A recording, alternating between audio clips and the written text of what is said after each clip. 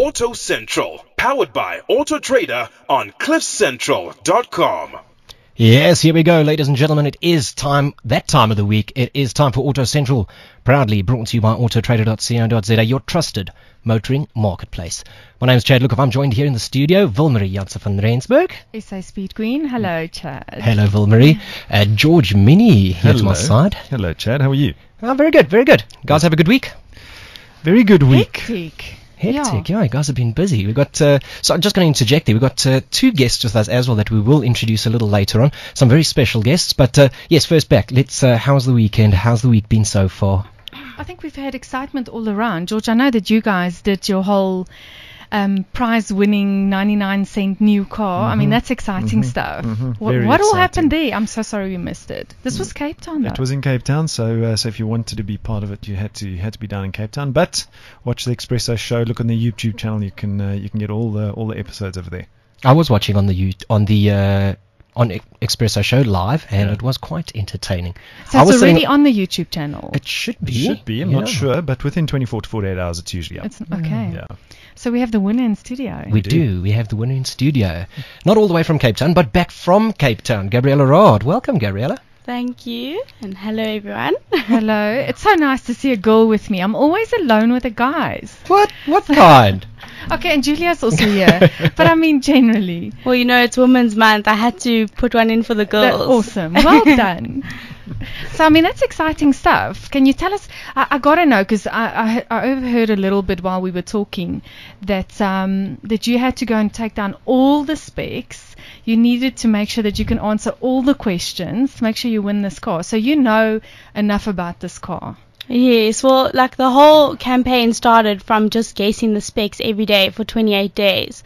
So from there, like I had to learn all the specs and just know, like when the questions were asked, what specs they were. And obviously, the last part of the competition, I was sure that it was going to be about the car. I mean, you can't have a whole thing about studying the car to guessing the car and then not make it about the car. So it was just about learning those specs and knowing it inside out and maybe going like the extra mile to find out even more about the specs to just prepare and get ready for the whole competition in a whole.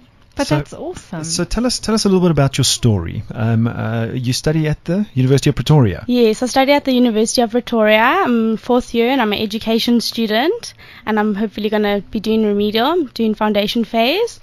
And yeah, I was just busy. Um, my brothers are all turning 18, so we kind of do this thing where we like pass down the cars and stuff. And my dad was like, you know, it's come to the time now where you can kind of try and look for a new car and we can start saving and get it. And he was like, look on Auto Trader because that's where my dad finds all his cars. oh, awesome. So he's like, go look there because you can compare and you can see prices and you can see what's like where we can go and stuff. And and I just saw this competition and I was like, uh, this this is so weird. 99 cents to buy a car. I was like, no, this is a joke. So I was just like, well, let me enter because you can't win anyway if you don't enter. Then you don't stand a chance at all.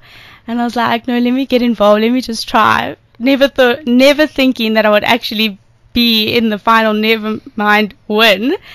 And I just entered, and every day it was quite fun just to be involved and just to see all the questions and everyone getting involved. it involved. was busy. Hey? It was very yeah. busy. Yeah. Yeah, the people were very involved. There in was this so campaign. much activity with it. I think it's been massively successful. Just just a quick one there. Just uh, and I don't think you're going to get this one wrong. Up to how many cars can you compare online on autotrader.co.za? Four. you got that one now. And she's, she's keep, keeping it in the family and she's punting the No, brand. Chad, well did, done. Chad did that because she got the question wrong during the Yes, and it competition. And, I'm what being really nasty. was like, and four is my favorite number. I don't know what made me say five. I think it was just the pressure, and I was just panicking. And I was like, I'm sure it's an odd number. It's not four. It's not four. It's not. But I should have really Hmm. just guessed my favorite number and gone with my guts. But So oh, how old are you now? I'm 22. Okay, so but I saw you drive in here with quite a big Yeah, my vehicle. dad's car. It's- okay, so it's really like it's it's a matter of days. Am I right, George? Yeah, so uh, uh, so we said to Gabriella that we uh, we've only got permission from the municipality to take the car down from the balcony because uh, it's at the top of Espresso Studios balcony. Um, you know, we were we were going to give her the keys and you know wish her luck with, uh, with Getting the car down. Try drive off there. but no, we wouldn't do that. So, uh, so the car's coming down on Sunday. The municipality will only close off the roads on Sunday to get the car down, and then um, uh, within a couple of days, she should uh, she should be behind the wheel of her new car. Okay, but now I'm curious. How'd you get it up there?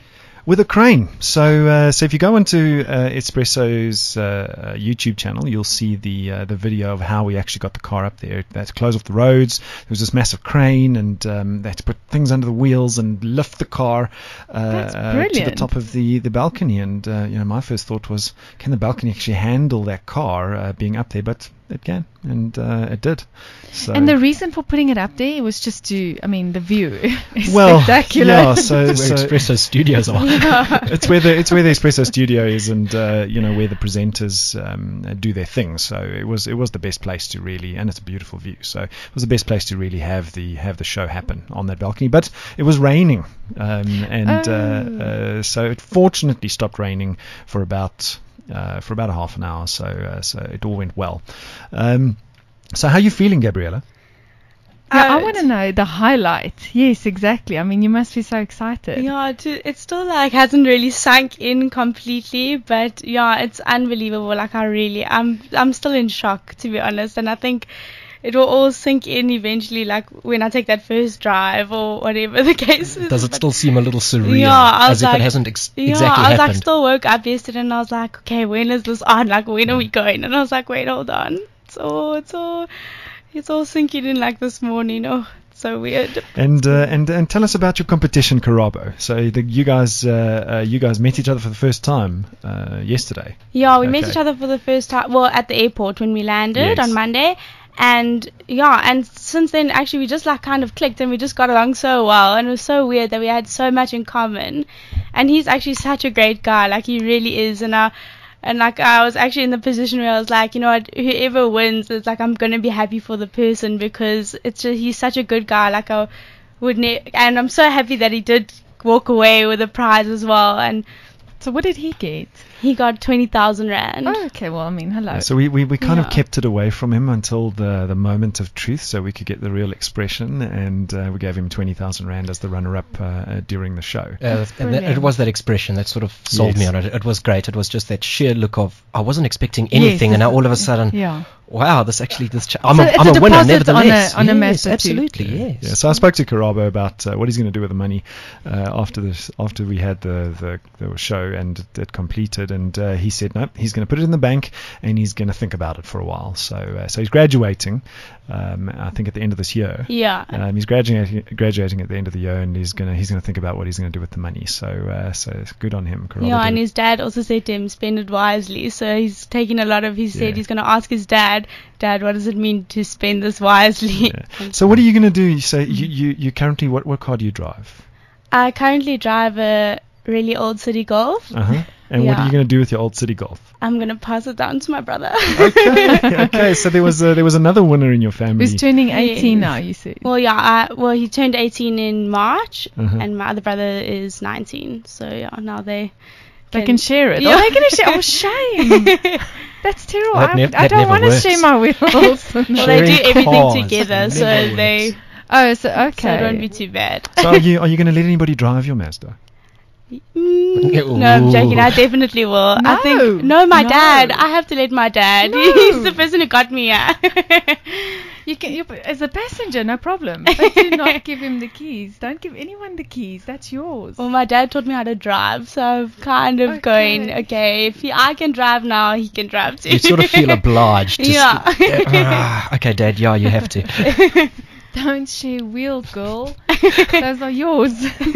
So tell us a little bit about the car because you know enough now, spec wise, color wise. Tell the listener what it is that you're walking away with.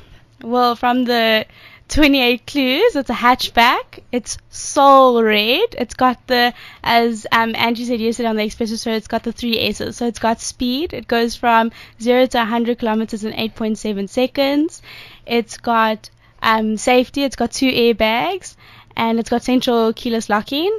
As well as it's just got soul. It's just beautiful. The interior's got red line stitching and it's just it's unbelievable. It really is an amazing car. Five it's got five doors and five seats and you know that's that's perfect for me being a teacher and like an au pair so just I really amazing. All right, thanks, guys. I'm out of here. Yeah.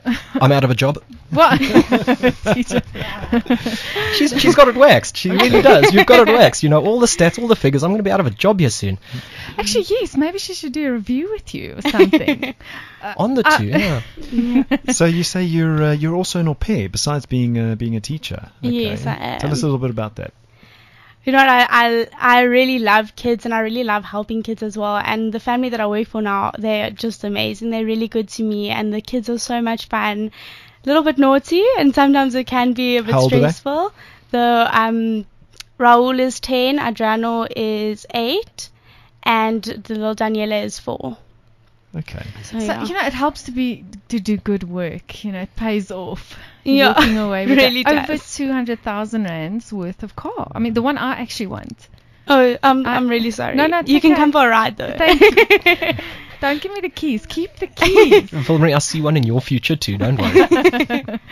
one of these days. Well, Gabriella, it's, it's really awesome um, to have you on the show, and uh, congrats from from everyone. Thanks for joining us. It was very short notice, but we couldn't let this one go. We- No, I'm so happy to be here as well. It's so it's, exciting. I'm sure it's starting to feel a little more official now. Yeah, no, even though being definitely. here I'm like, well. okay, hold on, I'm on radio. Well, that's awesome. I think. Um, well, I definitely want a photo when she gets the car, and I think we should we should get a Oh, little bit of a. I think we, yeah, I think we should do that. Do That's a good idea. Yes. that, No, we need to we need to get you in and make you part of the family. You are now officially one of the po- one, Yeah, one of part of the course, family. So yes. uh, we get you in and we'll get the photos and uh, brandy the car and your face all over. yeah, and I'll definitely tweet as well a lot and Instagram and everything. Well, it's an it's an awesome um, studio home. I mean, we jam packed today. We have wonderful guests. gabriela thank you for joining us. Feel free to butt in wherever you'd like as we go along, because we're actually talking about stuff very relevant to what you'll be driving now as well. Um, but we've got a wonderful guest with us, Wayne. Is it Doran or Duran? And I mean, I've known you for years. Uh, Um, Yeah, yeah, a number of years. yes, and I still, I've never actually asked you, do I pronounce it Duran? I gave up trying to get people to pronounce my name correctly. Uh, probably after two years of racing, because every different commentator has his take on it. So Uh, they do whatever. put their own little Guilty as best- charged. yes. Guilty as charged. well, we go we go with visual, um, the way that it appears there, and if we have sort of met the person and not necessarily gotten to the point of how do we pronounce your surname, it's going to go on. Okay, sort of uh, what's I your think. ethnicity background? you know, uh, Spanish descent, British descent, German descent, and, and you try and put the inflections on as is needed. So we're trying to judge it even before Wayne tells us how to pronounce it. Yeah, we are. I've given up. It makes no difference. Made no difference over the last 50 odd years. So will make absolutely zero now. Well, Wayne, but I mean, what you've done over the years is you have made a difference. And for now, for us, well, for me, I mean, I've known you a long time, yet we've never actually heard your story. And also, just to tell the listener that you, I mean, you're part of uh, Pirelli South Africa, am I right? Correct. And uh, specifically more on the bike side, though. But you've been in this industry, in the motor industry now, for how many years? Without giving your age away, but Uh, you, Listen, I'm an old bullet, but uh, good God, motorcycle industry started in about hell, 91. 1991. Yeah, so that's a long time ago. That's a decent very long years, time yes. ago. But I mean, you've been involved in racing yourself. Were you involved in a GP as well? You competed in the. I did. I was one of the the two suckers that. Uh, took all our um, savings and, and, and life earnings and whatever we had as worldly possessions, gave that up, and uh, we were the first South Africans back in Grand Prix racing, motorcycle Grand Prix racing, after the uh, the ban on South Africans or the embargo on South Africans was lift, uh, lifted.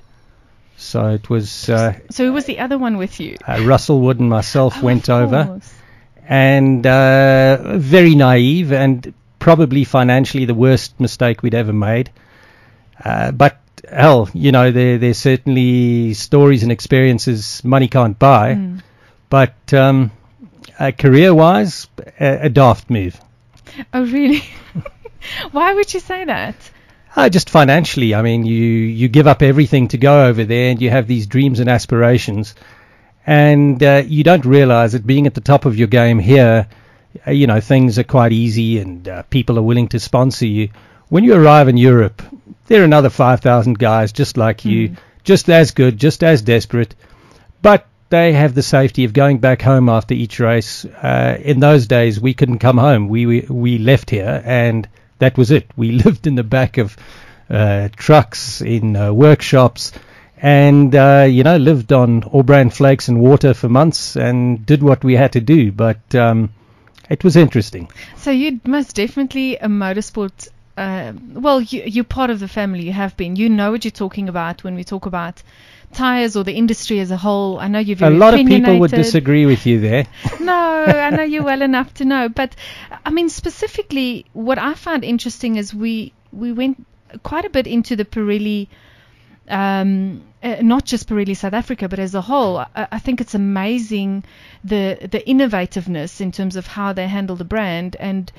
Um, for example, I mean, there's so many categories uh, in terms of the, the company itself, the motorsport, the trucking, um, the bike side, which you handle as well. It's it's a huge company. I mean, Yeah. it's a multinational, uh, one of the top five big tire companies in the world, and it was essentially started in 1870 odd, uh, a family-owned business.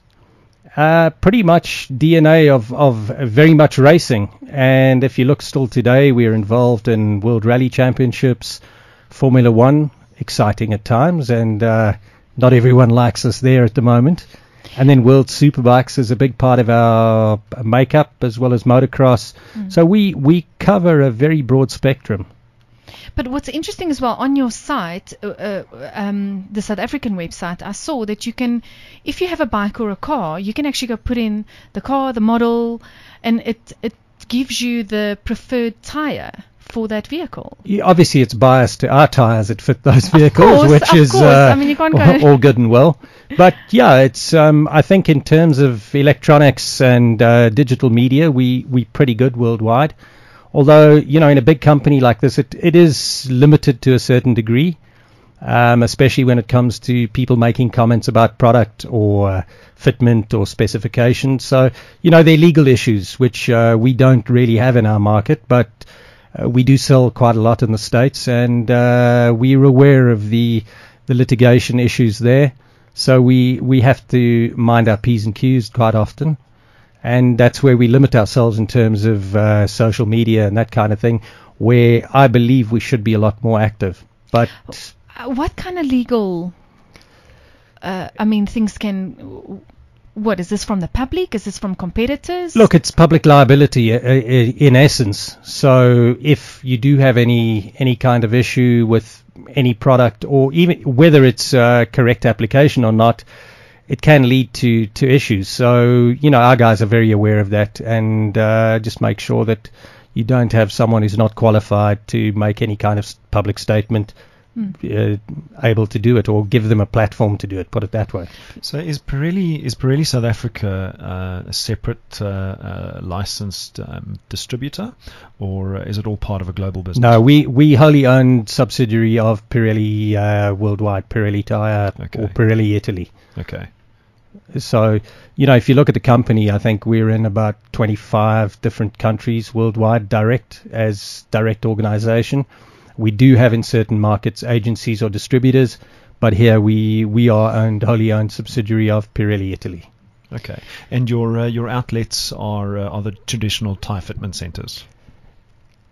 Yes and no. Yes, yes, in terms of volume based, but obviously we have a, a very strong involvement on the premium segment of the market with companies like Mercedes-Benz, uh, Porsche, BMW, Ferrari, McLaren, uh, Lamborghini, Bentley. So all all the really good and premium or prestige brands in, in terms of motor uh, motor car are we directly involved with. I'm pretty sure that Gabriella is going to tell you that her Mazda 2 is a premium car. Top notch. Can't argue that. So so so so a large um, portion of your business is actually putting tires on uh, assembled cars. Correct. So we would have relationships with factories, whether it's truck, motorcycle, car, where we supply original equipment. Obviously, there's a, a marketing aspect to that, that in terms of refitment, many people will just carry on replacing what is fitted on the cars originally. And But how much of that happens? I mean, how, how do you experience that uh, that switching? Do people generally stick to the tire that comes from the from the factory? very dependent on, on the person themselves and the kind of car they're driving. So you will find uh, replacement of original equipment is a lot higher in the premium segment. And when I say premium segment, it's uh, your more expensive brands and things that come out with uh, wheels of 60 or 17, 18, 19 inch and above. Okay. Okay. And isn't it also? I mean, this you often see tire specials running in that as well, and I, I'm sure a lot of people go based on that as well when it's time to change. Look, the tire, than the, the, the passenger car tire industry is is uh, a really tough and cutthroat business, and uh, we're a small player in the market. We are probably four to five percent of the passenger market. Um, but in order to move rubber, which is what our game is, uh, you need to do these things. And uh, with the tire retailers and outlets, they run on specials. That is that is what motivates Mm, purchases or promotes and, and sells your brand. Marketing, marketing, marketing. We were talking about that earlier. Correct. which you also have some background on. But I'm curious then if, if it's such a small percentage, which I didn't know Hmm. in terms of the, the car side, the bike side, surely that's quite a bit bigger. we are a lot bigger, and strangely enough, um, on the motorcycle side, it's it's easier for us in this this particular market, and for example, Germany or, or Central Europe, to sell premium priced product and premium brand because you're dealing really with a leisure market. We don't have a big uh, contingency of, of commuting market here. So you will find that uh, motorcycle owners here, that's their passion, that's their weekend love and de-stressing. So it's easier for them to justify spending a little bit more money on a good product than it is to just replace with whatever is affordable. But I'm sure that on a bike, the mindset, I know my mindset's different. Because, I mean, you have only those two wheels keeping you basically on the tar. Correct. And, that and does help us. so, So it helps you, it motivates you to spend a bit more if there's the traction aspect, the safety aspect, all of that that comes with it. Surely that's the important part, It- the it selling is- point. It yeah. is very true, but um, you know, in, in different categories or, or different usages or, or applications on on motorcycles, um, you know, it's sometimes hard to justify a 25 or 30 percent difference in pricing for slightly better grip or a lot more grip. Not everyone is uh, a motorcycle racer. So the guys that have a bit of a competitive edge, yes, will purchase on, on purely on performance.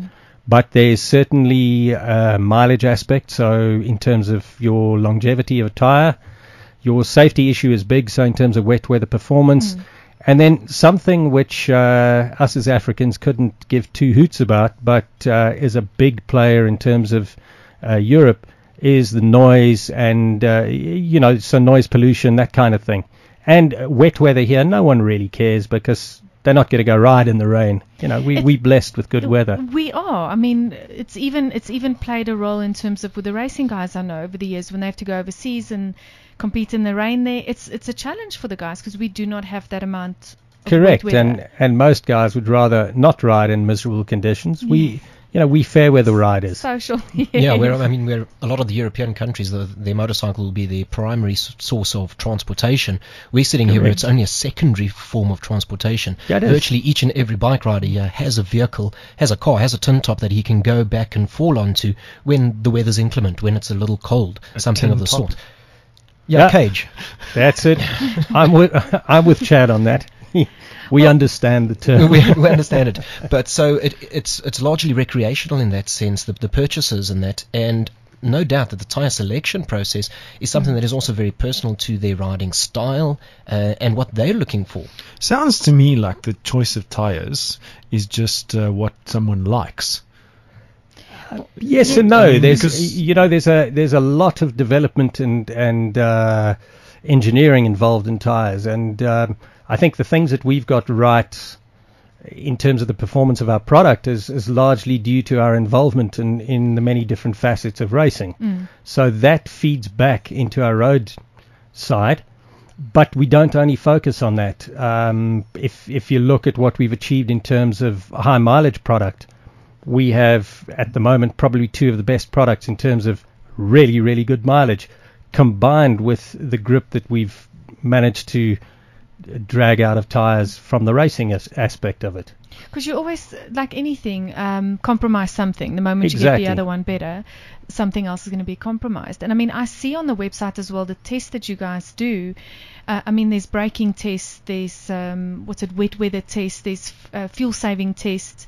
So it's very interesting. I know it's a little more on the car truck side. No, on, But- on as motorcycles specifically, we have a test crew based in Giara in Sicily of 38 people that their function every single day, day in, day out, is to test motorcycle tires. And, you know, it's not all going around a racetrack. They test and develop and they test competitive products as well to, to relate to that and to see how and where we fit in. But their job is to test, purely to test motorcycle tires. So they ride, God alone knows the, the, the amount of mileage they do, but they ride all day long. That's on various different things, various different conditions. So what kind of feedback um, can they give us? I mean, is it that what is your goal with them doing that? Well, it's to to check performance firstly, and then also mileage, uh, how they hold up, um, you know, the degradation. Because the big thing about a tire is is not to produce something that works perfectly for the first 50 kilometers of its life and then changes dramatically. So the thing that we've gotten right over the last couple of years is to produce a tire that performs the same from outset as brand new right up until the end of its life, which is something that uh, in motorcycle terms uh, you will have found years ago, you know, guys talk about a tire going off or the tire life. It's got nothing to do with the mileage on it, but it, it runs out of grip or performance. And heat cycles? Heat cycles also play a, a role in that, but that's more specific to To racing. racing, yes. Uh, whereas on the road, you know, your your heat cycle is only when you're using it. It builds up heat very quickly as as soon as you're using it, and as soon as you stop, that's gone. So it's that it keeps that performance and that maintains the kind of performance every time you use it. So that it's basically got a longer lifespan. Correct. But it's also then surely how you look after it, mm-hmm. wh- which which is something I want to get back to just now. We're just going to go to an ad break quickly, and when we get back, talk a little bit more about Pirelli and the bike of the year. Choice. Sometimes you have it, and sometimes you don't. AutoTrader gives you the choice. Now you can shop, compare, and buy new cars. Watch our expert video reviews and research before you buy. AutoTrader New Car. The choice is yours. Auto Central, powered by AutoTrader on CliffCentral.com. Yes, welcome back. We're sitting here and we're chatting to Wayne Doran. And we've got Gabrielle. Duran. Duran. I'm just sorry. saying. All right, Isn't there a band called Duran Duran? Where are they now? Con- spelled completely Dead. different, George. It's spelled completely different. But is it pronounced the same? Exactly, We still haven't gotten to that because you never told us, actually. it's Duran. That's it. Duran. Got it. Uh, Okay, so not points Doran. for me. Okay, Do I get some Duran. tires? No. nice try, nice try. And of course, got Gabrielle in studio here as well, uh, winner of the 99 cent new car campaign. Uh, Vilma, you were chatting uh, to uh, to Wayne now about Yes. uh, you know Pirelli's involvement in in the market, uh, their market share, their marketplace, or the testing that that's done. But you guys are also involved with Bike of the Year. Correct. I was hoping you were going to mention the calendar because that's quite I, famous I've got too. it on here, but you know. You got the calendar on priorities- there. I mean, not on uh, uh, uh, down here. written down. reverse, reverse. Uh, I actually it's a gentleman's calendar. At it. That. no, Well, Bike of the ladies are in it. It's So- a brilliant so calendar. surely I'm not I'm- gonna beautiful ladies, and there's some guys for the girls. So it's uh, you know actually we're getting haven't seen Well, that. well, while we're actually on that, it is one of those things that has We've almost gone away forced- from bikes. We're getting there. We're getting there. It has almost forced Pirelli into almost a, a fashion and and glamour sort of direction, and made them almost synonymous with that fashion industry. Well, well, it is. It's something that started uh, basically in the 70s, if I if I remember correctly, in uh, in the UK market, and started really in London with him introducing, and it it was kind of a a sexist, male-dominated industry in those days. That they brought out this very sexy calendar of uh, beautiful ladies. Uh, but they took it to another level, and in, instead of it being smutty, they've taken it to a very sexy and Classy. uh, classy level. And it's it's something that's now become synonymous with a brand. Yeah. Now, what that's done for us is that, you know, it's very boring. Look, to be honest, tires, tires are tires, round black things. They're not exactly the most beautiful Exactly. things to look at. No, And yes, they perform well, and we need them, and they look after us in terms of safety and performance. but largely a grudge purchase as a whole. Exactly, it's not the kind of thing you want to display and go. And, I wouldn't leave home to go and look at a tire. well, well, it's curvy. Uh, You- you yes, know. Yeah, but yeah, I uh, suppose. yeah, let's not go there.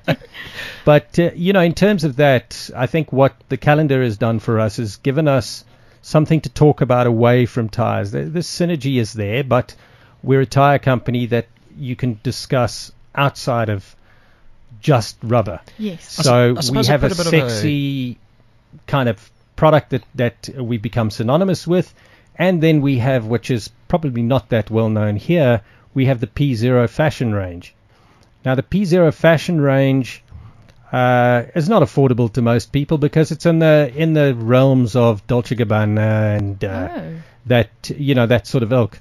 But it's it's a very sexy, beautiful, high-end fashion range, and so that's something else that you know. But we don't have that here. Is that what you're saying? There there are certain outlets, if I'm not mistaken, in uh, Sandton City. Must be because that's our, our decent shopping Is- mall around here. But yeah, there are sort there of are a thing couple that'll of be kept people. by a GP store. GP Yeah. store, I- I mean, they cater with all the Mm. uh, McLaren, the Aston Those Martin, kind the of- Ferrari sort of yes, yes. merchandise. I would expect to find it there. Uh, You you may. I I must be honest. I'm not that au fait with it. Fashion conscious. Uh, I have a pair of shoes. So.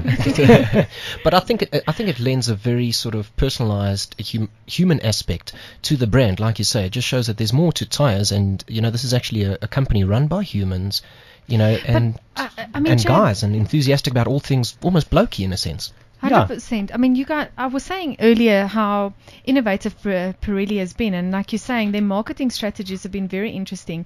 2006, they did. They called like a Pirelli. They've got a Pirelli Heroes campaign going with where they link up with um, a lot of females as well, but also male. Um, Correct. We we look. We've we've been involved with a lot of uh, sports stars, with Yes. female uh, movie and, and fashion celebrities. Like Uh, Uma Thurman. Uma one. Thurman was was certainly one. Um, Got Naomi Campbell. Naomi Campbell was uh, featured. Michael Jordan, if I'm not mistaken. Yes, and and and, and we've got Ronaldo for the ladies. Yes, uh, he did a very famous pose that they used, which was based on the statue or, or the the Christ the Redeemer in, in Brazil. Magic Uh, feet or something. Yeah. Something. Yeah. Now, you know, we also, funnily enough, uh, not funnily enough, I guess Milan is our, our hometown. Uh, we are the uh, the major sponsor of the Inter Milan football team. They could do a little better for us, but let's not go there. Different And- kind of show that comes on after this one. exactly. Yes. And then, um, you know, we, uh, yeah, so sport, sports wise, we, we quite involved.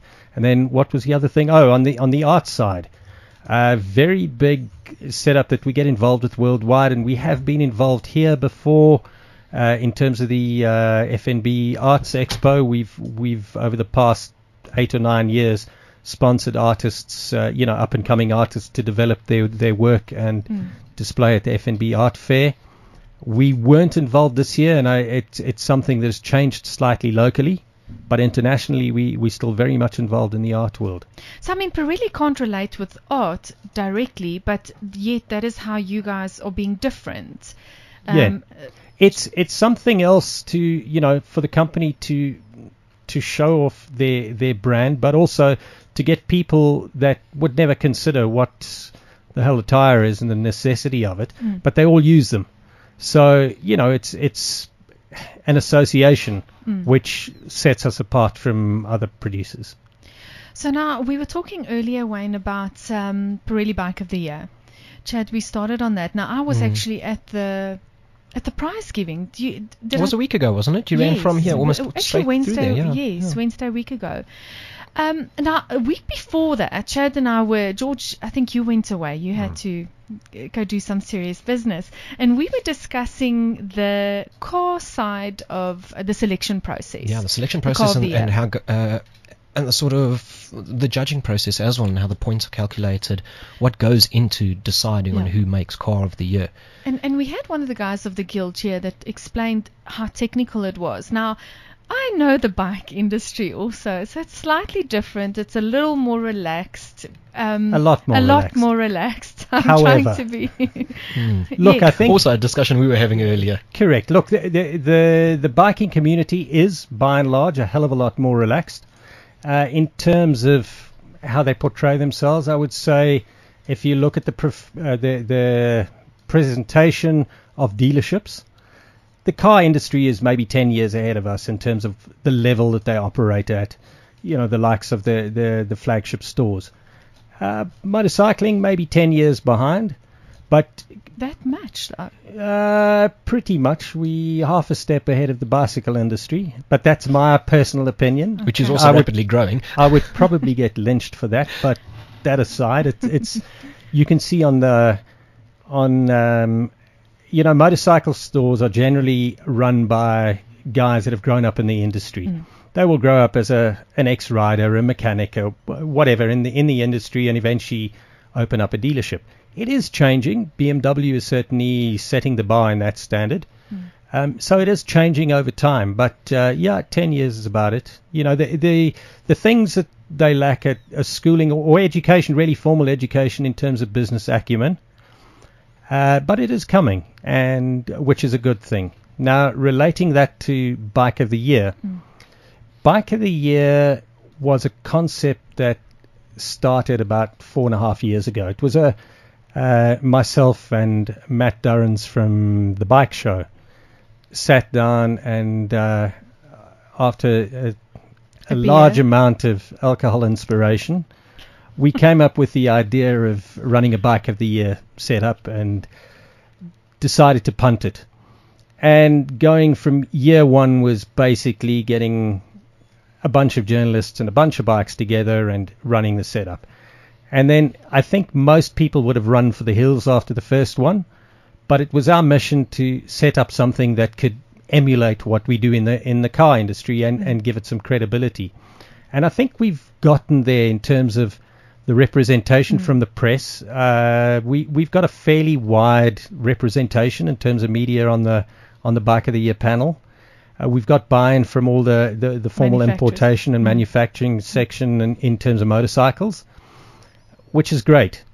Um, when it comes to the judging criteria, it was something that also year one was okay, guys. How do you feel? What what do you like? So And it was very personal. It was very personal. Yes. However, this year we we have decided, or we had decided, it's now done and dusted, but to make it a lot more structured. So there is a very specific bunch of criteria that they measure each bike on. However, you have to you have to put it into context because motorcycling is a passion game. It's a passion industry. It's it's we do it because we love it. So the weighting in terms of would you buy the motorcycle or would I own this particular motorcycle is one of the categories. Uh, You know, it's, it's really the wow factor of the bike. And that can be something different to each different person that rides it. Depends what their likes are, depends on on all sorts. It may not only be the aesthetics or the power or whatever it is, but it's it's does this motorcycle talk to me? But how many journalists do you have? Uh, I mean, this one now, you guys went to Nelspruit? I think we had 15 journos on this. It was done down in, in the old Eastern Transvaal, so Graskop Hazy View area, which is uh, divine. Of course. It is lovely place to ride. Uh, roads are good, and there's uh, traffic is is not too bad. You do have the odd logging truck, which poses a little bit of an exciting moment Challenge. or two. yeah, challenge. That's isn't that one of our favourite words? We don't have It problems. was challenging. yes. Yeah, but you know, in terms of that, I think it's it's, and again, that panel will probably grow to 17 or 20 next year as as we expand it, and uh, the mission is to to start involving more journos from up north on the continent. Well, Chad will be joining soon, hopefully. Yeah, We'll see if I'm on the panel by this time next year, but Ah, uh, that's easy. I, I know it's easy now. It's who you know. On the I will be left for dead. You told me what happens at these launches and how it's just, Yeah, look. you know, you got your leader who is one of the instructors and he's just gone.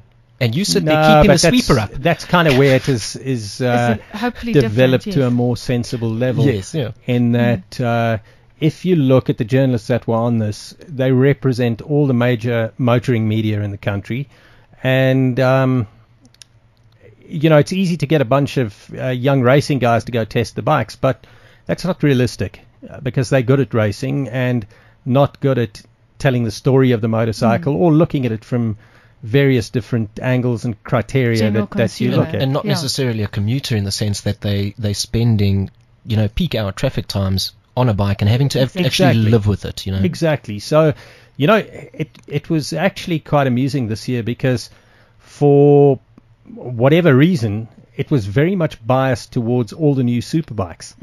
So it does give the whole feel a little bit of a spin, but you know, the guys that are there don't only look at it from that perspective. We don't only look at performance. Performance is one small part of it. Uh, value for money is a, is a very big part of that.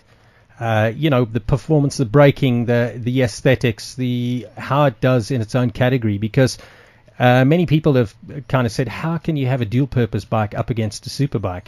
It's very simple Yeah. because you know they Again, they, perform in their their own own categories. categories. Yes. It, it, it's like Same we were discussing cars. with the cars. You know, Yes. they're in their own categories, and if they are there and they've made the final, and correct me if I'm wrong here, Wayne, if they've made it to those finalists, they are essentially the best of their category. They fought off another eight to ten different contenders, four or five different 100%. contenders perhaps in the hmm. bikes, and they have made it there. Now they are all being judged almost individually and given their merits Yes, overall. each, but not being compared to each other.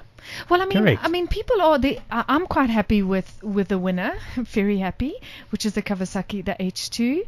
But a lot of people says it doesn't tick all the boxes, you know. So It's a bike that actually has its own category and almost no challenge, if I'm correct in that I sense. think if, if you have a look, firstly go back a step and, and you have a look at the bikes that were entered into this, and really how it works in a nutshell is anything that is since the, the previous edition of Bike of the Year, any new product that was launched into our market in the current year up to when this thing starts is open to be entered.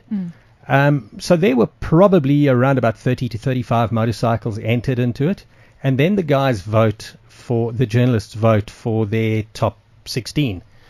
And So out of that, that- you get yeah. the you know so each of The the, journalists ones, on the yeah. on the panel would vote for who they would put their top 16 and that is is then calculated as to the, the, the top 16 of each journalist, and that's how they select the top bikes. So you would have noticed some key motorcycles missing, but it's it's what they selected as the bikes to go through for the top 16. so which ones did go through? Because I can't remember all of them. Oh, I'll try help. just put me I'm- on the spot. Uh, the the oddities we'll start with first is the zero electric motorcycle, which was quite interesting, and put in there as, as something quite new to the the industry, quite innovative.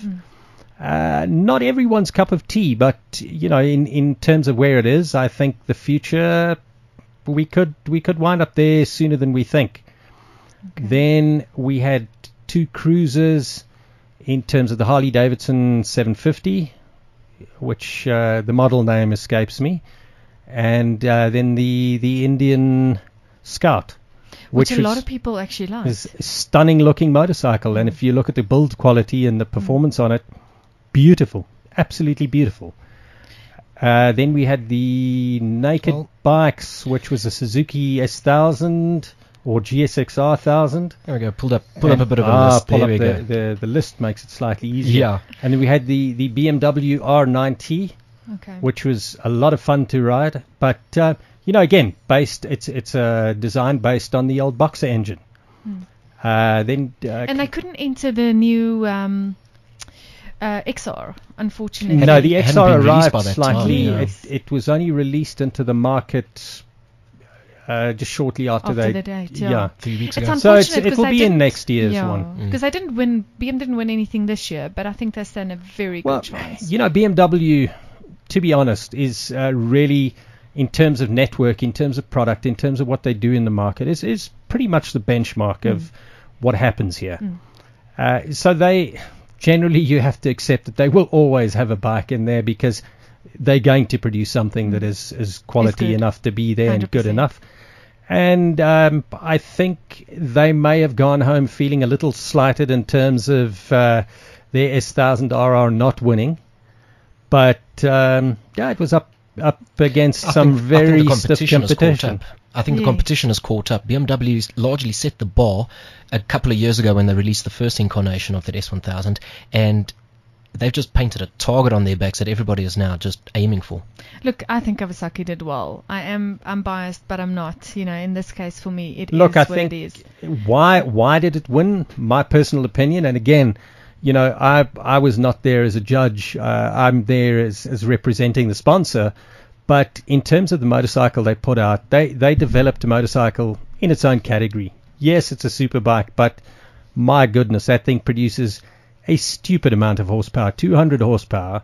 It weighs slightly more than the the top super bikes. It is an incredibly stable and easy to ride chassis, uh, and it's it's supercharged. So from any RPM in any gear, Anything supercharged is it's cool. it's ridiculous. Do you want to give us the rest of the list, Chad? Oh, you want to go with the list? Yeah, quickly? just Okay. quickly know who the entrance. Just quickly before we go over to my review there. Well, um, from the top, with uh, taking the top was the Ninja H2, was the Kawasaki Ninja H2. The Yamaha R1 was in there as well. The S1000 RR, of course, that we mentioned. The RSV 1000 Aprilia. Mm. So, I mean, glad to see that they're still uh, featuring in these lists. A surprise package in that it was a very nice handling motorcycle. 1299 Panigale from Ducati, as well as the Multistrada from Ducati. Uh, KTM 1290 Super Adventure. Also, a bit of a left field choice. We were talking about this one earlier, which is a Triumph Tiger, the 800 XCX. Second place. Second place and Yeah, uh, very close to taking it overall. Which you know people would look at and say, hmm, 800 winning bike of the year. I'll tell you what, it's a it's a surprisingly good package, a wonderful, uh, easy motorcycle to ride, good to good on the eye, and it handles superbly. Yeah. And we also had the Aprilia Caponord Rally there, uh, as well as the Ducati Scrambler, which is a nice, interesting bike as well. The Indian Scout that you mentioned before uh, seems a bit split on that one actually. Some like it, some don't. I think you know it's it's one of those you either like cruisers or you hate them. Um, I'm of the age group now where I, where I love them. I, I want one, and that is a really pretty motorcycle. Well, I mean, up against the uh, Street 750 Harley Davidson as well. Hey, almost not quite head to head, but uh, it's the pitching it on Harley their to doorstep. me was a, you know, I know that was their new bike, but it was, it's not in the league of the Scout. It's it wasn't exciting to ride. Wouldn't be my first choice. Came across a little dated, yeah. Well, we had the BMW R9T there, the Yamaha Tracer, uh, the Suzuki GSX 1000F, and then of course that uh, Zero S, which is an all-electric bike, which was uh, the left field Greenpeace approach, bunny hugging, save the tree sort of maneuver. Just before we go to the review, Chad, um, uh, who was third? Was it Yamaha? Yamaha R1. I Now, if, if you yeah. look at that in terms of uh, superbikes, probably the most exciting package that's happened in, in terms of superbikes. An amazing motorcycle to ride. And coming from a racing background, I stole a few laps at the press launch in Cape Town. And my God, what a Can motorcycle you to ride. ride, Wayne? No. Well, Wayne, thanks very much. Uh, well, just before we, we start wrapping things up, I'm just going to touch on our review, our highlighted review for the week, and that is, of course, the 3.2 litre, the Mazda, Mazda. BT, Mazda BT50. So there we go. We're you back like with your the Mazda? Mazdas. Yes. Oh, Mazda for the win. Well, uh, this is the 4x2 version, the double cab SLE, and uh, it's it's not a new vehicle per se. So you may be asking why am I testing it? It's because they've actually just recently launched, and if you've been watching the TV, that you would have noticed the drifter pack that they're offering. All of a sudden now it's got these fancy little add-ons and that, and it's actually quite a clever marketing ploy by Mazda. Now the BT50 as a whole, very good double cab. Um, I love once again, you know me, I, I love interiors. This is a double cab with the interior like a sedan. It could be a sedan or an SUV. It doesn't have that archaic agricultural, overly plastic approach that hose me down after a day in the bush sort of approach. It actually feels and drives like a car. Granted, when you get to a couple of the controls like the gearbox and that being a little notchy, the diesel motor, uh, and just the gearing of it as well, still comes across as a as as a bakkie, as a as a 4x4, 4x2 lifted body LDV, but it drives surprisingly well, and the feel of everything is so easy to live with. But that, that marketing ploy is the, the drifter pack. Now, what Mazda is saying is that the the one that I was testing, costs 402,400. Hmm. So that's now your SLE, your 4x2 in the double cab. But if you go with the drifter pack, they're going to throw in 35,000 rands worth of accessories on the house. And that includes hmm. black nudge bars up front, black roll bar at the back, running skirts, there's mats inside, 17 inch black rhino wheels, and then a little shock absorber that goes on the tailgate. And that may sound a little gimmicky, but it makes it open like a car's boot. So you can just unlatch it and it eases itself down into position. Actually, very good instead of this bong bong bong slam down sort of effect that you usually get from your uh, from your tailgates. But You can choose that, or you can take roughly twenty thousand rand off the purchase price. It almost looks like uh, like it has car lights uh, on the front No. and back. Yes, yes, that's the thing. That is the, the big bone of contention here is the fact that not many people like the Mazda BT50 styling. I do because I think it's a little unconventional. Your hardcore double cab owner, buyer, purchaser, the consumer there is looking for something butch and squared off, uh, straight lines, and the BT50 comes in very rounded. The front end is good. It's the back end that gets most people. And yes, the back tail lights maybe could do with an update. Uh, very trapezoidal in their approach, uh, wrap round 3D sort of effect. Not the sort of thing that we're accustomed to seeing. We're accustomed to seeing these slab-like, chocolate-like blocks on the back of a of a bakkie, and uh, the, the know? BT50 doesn't have that. Accessories is an extra like that. You never get your money back for that. So to get that as a freebie, I think is brilliant. Well, it depends on what accessory it is. I mean, uh, things like uh, um, uh, navigation, sunroofs, those sorts of add-ons to a car do get your money back. Those can, yeah. These are more cosmetic now, Yeah. George. Cosmetic. So these you're going to lose out on. Yeah. But you can go with, like I was saying, you can go with the standard BT50 and take roughly 20,000. So don't quote me on this. It's roughly, they will calculate it. But that's going to take it down to 380,000 Rand for a brand new Mazda BT. Suddenly, that's big value for money. Mm, As soon as you take 20,000 Rand off it and you don't go with the 35,000 Rand's accessories, then what do we know about Mazda? Three year unlimited kilometer warranty Wow. and three year service plan thrown in to boot. How many kilometers can you do in three years? Be well, I'm surprised. going to now, be doing a lot. Yes. you use this as, let's say, like a rep vehicle or something of the sorts. I mean, reps do high, high mileage. Mm. This is a sort of vehicle that if you do happen to stay out in, I don't know, in Philipsburg in the Free State, and you have to constantly drive to Bloem to go and get your, you know, your your groceries, you're going to put some mileage on this thing. I don't know if I'm going that far to get groceries. I'm not saying drive from here. I'm just saying if you are in one of those remote areas. No, then you need a bakkie to get your groceries. Um, so the the the um, uh, the car itself, uh, in terms of uh, uh, warranty and and motor plan, what um, what what other stuff does it come with? Well, there's the there's the service plan, three year service plan. Yeah. Um, there is five year anti corrosion. There's three year unlimited kilometer uh, warranty on it. It's a pretty full house. It's an Mazda is awesome offering package, some of the best Hmm. service aftermarket packages at the moment. Well, that's awesome. I mean, you guys can. Where can they get the review? It's also. It's, also on, it's on, the Auto Autotrader. Trader site, autotrader.co.za, and uh, if you just go through the social media links as well, do remember to follow Auto Trader on social media. So we're on Pinterest, we're on Instagram, we're on Twitter, Auto Trader SA, Facebook as well, and uh, you can get in on, on the conversation by using the hashtag hashtag Auto Central in your tweets or uh, you know in your tags on Oh, on, on the Cliff Facebook. Central page as Cliff well. Central page Mm. as well. So please do get involved with us there. And if you want to buy one, there are almost 200 on the site. Gabriella, I want to quickly. Well, that's wonderful. I mean, on Auto Trader SA, you can go into the site. How many? Over 200. Well, there's 200 um, of the. Uh, I see that number and I'll give you that. Gabriella, I want to quickly throw in the deep end before we say goodbye. What tires is on your Master? Last one. Don't It's worry, you won't lose the car. it's a 185 by 60 with a rim of 16 inch. and the make of the tire, Wayne. I hope. Won't be us. Doubt it's a No, it Pirelli. No. No, not It'll- Can, it'll can you remember, or am I local throwing that last little curveball? I don't know the make of the tire. Not to worry. I thought I'd just test you on that. Wayne, just one quick one for the listener before we go. From a safety point of view, um, a lot of people don't really know how to look after your tire in terms of maintenance. Is tire pressure a big deal? Yes, it is. And unfortunately, I'm one of those normal muppets that ride the motorcycle and never check it. It's something that you should check on a fairly as well. on a fairly uh, Yeah, yeah. regular basis. So you know, keep just But cars as up. well, Cars as obviously. well. M- motorcycles, cars.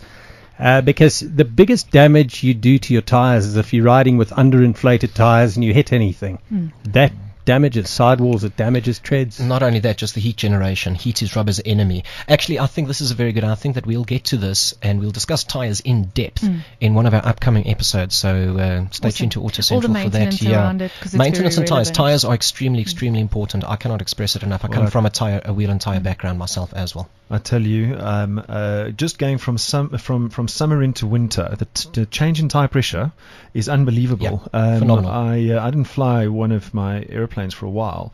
Uh, went to the hangar to go and fly, and um, uh, the tires were half inflated, just because of the weather change. Oh my, you see, so there's a lot that we can discuss on this. Guys, we're going to have to wrap up. It was wonderful having you on the show. Thank you for coming, Wayne, from Pirelli. Thank you. Gabriella, we can't wait to see the pictures. And thanks Oh. for joining us. Pleasure. Congrats. Uh, from my side, you can join, um, follow me on um, at SA Speed Queen. Or uh, at Auto Trader SA or at George Mienie. At Chad Lookoff. Thanks for joining us. And remember the secret to a balanced life? Keep moving. Auto Central, powered by Auto Trader on CliffCentral.com.